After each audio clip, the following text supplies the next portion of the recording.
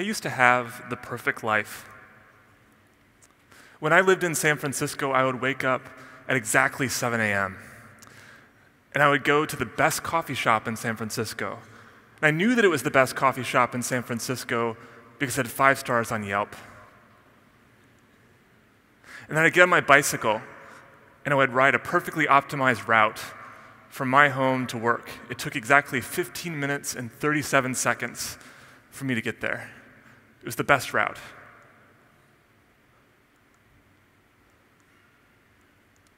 And I was working as a software engineer at Google, which in many ways was my dream job. I'd always wanted to move to California and work in software.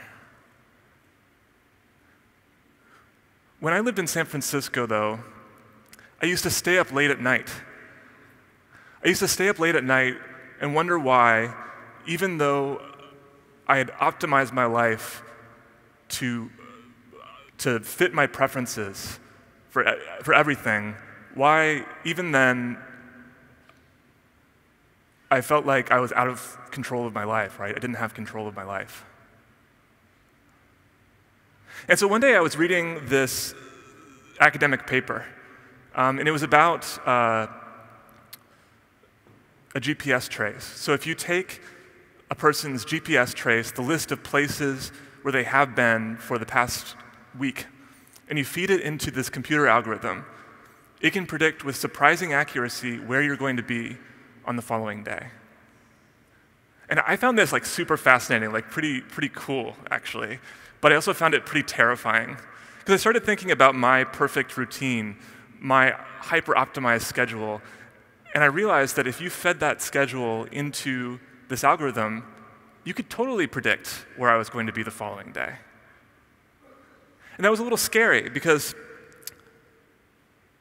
if the computer knew me so well that it could figure out where I was going to be the next day, where did that leave me? Like, where was my role in that? Was I living my life for myself, or was I just playing out this script that someone else or something else had written for me? And so I started designing a new way of living for myself that was based on randomness and unpredictability rather than my preferences. And living in this way totally transformed my life. It consumed me, it obsessed me for two and a half years, and uh, changed the way that I think about the world. So, bit by bit, I started taking all the decisions that I made in my life, things that I normally would use my preference to decide, and letting the computer decide for me. So, for instance, if I was to go to a bar or a restaurant, instead of choosing my favorite place, I would go to a random one that the computer decided for me. I also wrote a program that after the, the computer you know, chose the place, it would call an Uber to my location and tell the Uber driver the random place I was going to, but leave me completely in the dark so that I would be totally surprised when I arrived in the place. And the first time I tried this, in, in what may be a sign from the universe, the computer sent me to the local mental hospital. Which was great. I, I, ended up going to a, a, bar nearby and had like the time of my life. And um, it was so exhilarating because I had spent my life in San Francisco living in these tiny circles, these, these closed loops, where I kept seeing the same things over and over again. And finally, I was seeing a part of the city that was completely new. And so I started taking this concept and applying it to more and more parts of my life. And the computer sent me to you know, different places in San Francisco, but it also started suggesting things for me to do in my free time. I made a printer that found random suggestions from books, and then I would follow these instructions. Once a day, I would take one and, and try it out. I let the computer choose what music I listened to, and it was totally random every day, something new.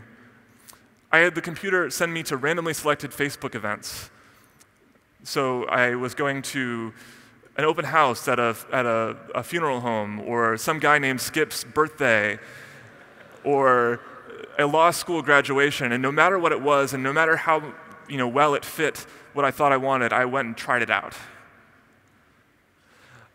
I am now certified after a three hour course to capture feral cat colonies and take them to be spayed and neutered by the ASPCA. The computer chose what I ate, chose my food, it also chose my fashion. It started giving me style tips about how to style and you know, what, what hair to wear. I started wearing wigs, and I started letting the computer choose clothing for me to wear. So every, every week or so, I would get a new package from Amazon that had a random piece of clothing. The computer told me to get a random tattoo selected from all of the images on the internet.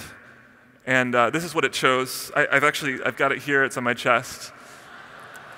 It was a totally random image.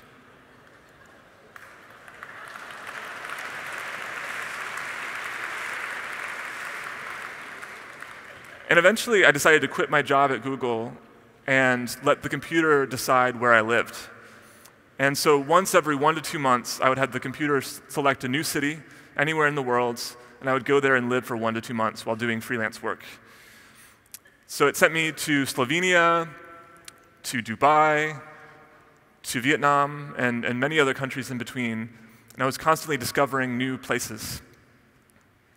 And what surprised me the most about this experience was how quickly something that felt initially not a part of my identity, not a part of who I was, and something that was too different for me to, to try it, became my new normal.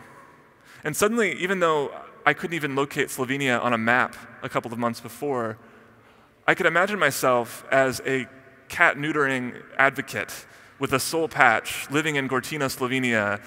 And I started thinking about this other way of living that I had in San Francisco where I felt kind of trapped. And I realized that what was trapping me was my adherence to my preferences, the idea that the things that I do and who I am have to accord with the things that I like and don't like. And so, in choosing randomly, I, I found some, some freedom. And preferences that also are reinforced by the sorts of computer algorithms that I was exposed to at Google. These are the things that choose what's in your Facebook news feed, that choose what are your first Google search results, that choose what restaurant you, get, you, you, you see on Yelp. These are algorithms that take in your preferences and then purport to understand you better than you understand yourself algorithms that are increasingly becoming more popular and I think will start to make more and more of our decisions in the future. And I, I think that we need to think very carefully about the effect that these algorithms are having on our identity and our sense of autonomy. And so, you know, as we enter this more algorithmically generated world, I'd like to invite you to, to think about things um, in a slightly different way. I'd like you to question your preferences. It could be that they're holding you back, that they're, they're putting you into a fixed, small sense of self and making it so you, you don't see things that are outside of what you think that you like. I'd like you to sit with your discomfort. One thing that I found again and again on this random path is that my favorite things, the things that expanded my mind the most, sat behind something that felt a little bit uncomfortable at first. So if, if you're feeling like this experience just doesn't fit with who I am, wait and see if it changes. And then finally, every time you see a product that markets itself as being personalized for you, I would invite you to be a little bit suspicious. Because oftentimes, it's not just about personalizing for you or for making things more convenient, it's also a way to control you. So I'm going to be around the conference for the next two days, and I'm in, I'm in South Africa for a bit. Um, if you need a random suggestion, uh, come say hello. I can give you a random Facebook event, a random place in Cape Town, or even a random tattoo idea. So uh, thank you so much, and uh, see you guys around.